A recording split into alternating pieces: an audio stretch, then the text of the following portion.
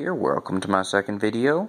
Uh, it's going to be about if you have an iPhone and you're getting text messages that were meant for someone else. Now, I've run into this issue a few times with people mentioning, oh, I got a text message that was meant for my daughter or my son or they got mine.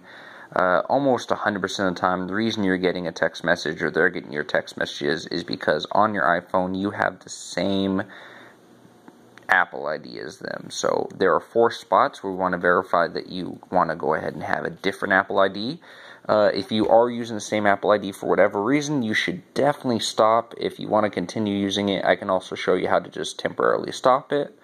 Um, the way this happens is if you have their old iPhone, you switch iPhones, or even after doing some software updates, these settings can change. So the four spots we go to first start in the settings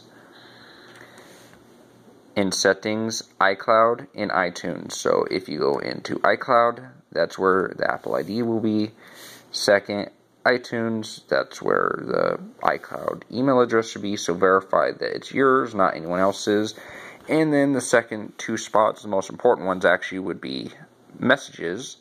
So this would be specifically you're getting someone's text messages, they're getting yours. And I'm going to move away just a second because you're going to click into messages. And then the most important part would be send and receive. You're going to tap on send and receive.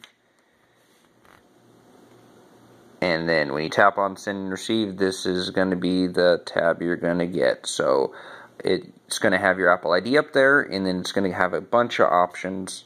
Uh, the options are going to be you can be reached at, and it's going to have a big long list of numbers, email addresses, etc. You want to make sure that your email and your number is the only one checked. If you have anyone else's, that's what's going on there. And then FaceTime, FaceTime would be meant for calls. FaceTime, FaceTime, if it's on, you can use your Apple ID for it. If you have anyone else's Apple ID, or if you're sharing an Apple ID, or you see someone else's phone number, you'd want to then turn FaceTime off with that little green switch.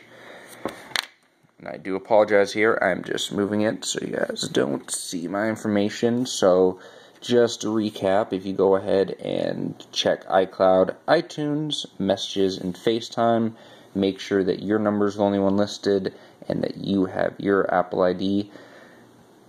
This mess, uh, overall, that's going to be what's going on. But I do want to say thank you very much for checking out the video and have a great day.